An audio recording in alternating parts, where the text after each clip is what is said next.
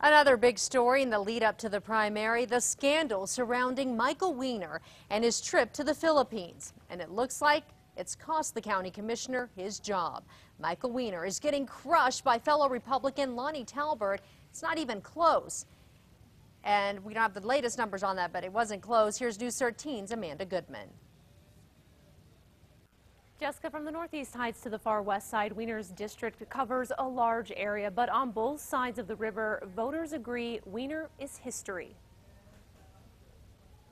I think they're just voting against Wiener. I think he's uh, he's just done. I'm just tired of, of um, basically the crap. You know, he's just, uh, in my book, he's just a male chauvinist pig. The first time county commissioner was censured after photos surfaced of him posing with prostitutes in a red light district in the Philippines. Wiener's also been criticized for making inappropriate comments to women at work and for a racist joke involving the president.